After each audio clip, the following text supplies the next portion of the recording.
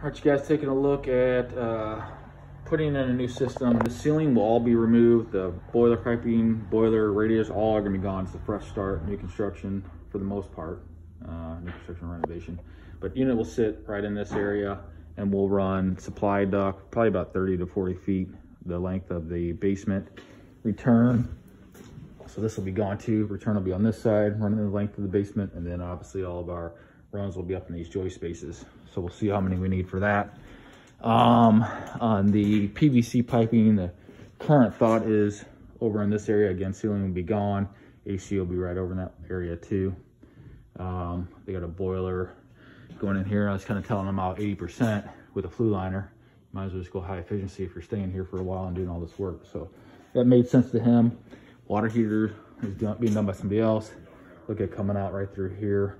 And then we'll take a look at the lay of the land for the air conditioner.